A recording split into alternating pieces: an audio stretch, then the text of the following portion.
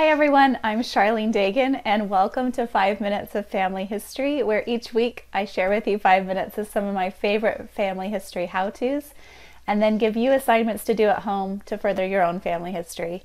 Today we're going to learn how to enter your family names into your tree on Family Search. If you didn't have a chance to collect your family information yet, that's okay. You can still learn how to enter information just by entering your own information into your family tree. If you're joining us for the first time and haven't yet created your Family Search account, I recommend you take just five minutes and watch the first episode to learn how to create your account so that you're all caught up. When you log into Family Search, you're going to notice that there are five menu options along the top bar. Hover over the Family Tree tab and select Tree from this menu. This is actually a digital version of your pedigree charts and family group records. As we enter information, I'll mention a few rules to keep in mind as we go along. First, you'll enter information about yourself. Open your record by left-clicking on your name, which will be there from your account registration. Then click either on your name, which will be in blue, or click on Person at the bottom of the box.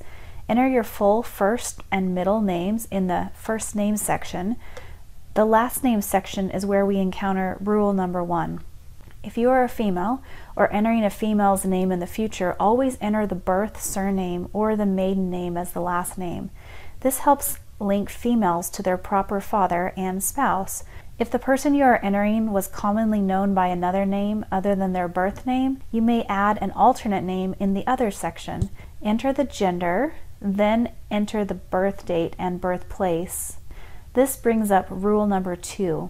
Whenever you enter information for dates or places, it's important to standardize the date and place by putting it in the correct format, which I refer to as the smallest to largest rule.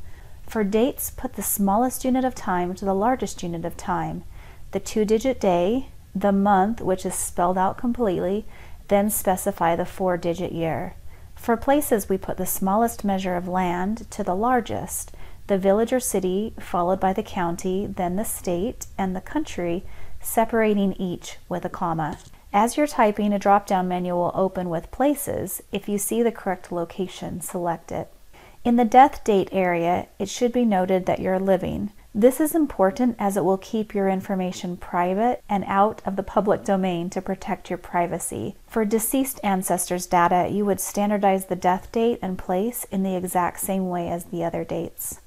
To add parents, spouse, or children, you can add them directly from your individual record at the bottom in the Family Members section. Or you can go back to the pedigree view by clicking on View Tree at the top right, and then clicking the plus sign next to the family member you wish to add. Each next older generation of parents will add in a line to the right. A family group builds downward from each couple, so you'll see the father, mother, and children all stacked on top of one another. We edited our own record today, but when you add a new person for the first time, the screen looks slightly different, like this. When you enter a deceased family member's name, it's important to enter their birth, marriage, or death date and places if possible, as Family Search will search the family tree to see if that person already exists in the tree. If they do, you have the option to select a person that is already in the tree, which is really helpful as it will save you time by linking them to your line. If Family Search doesn't find a match, you may click create to create a record for the new person. Rule number three, only add information you've confirmed and for which you can add a source. Just as you need official proof of your existence for a driver's license or passport, your ancestors need official proof of their existence. This helps you to add the correct people to your tree. We'll cover more about finding and citing sources in episode 7.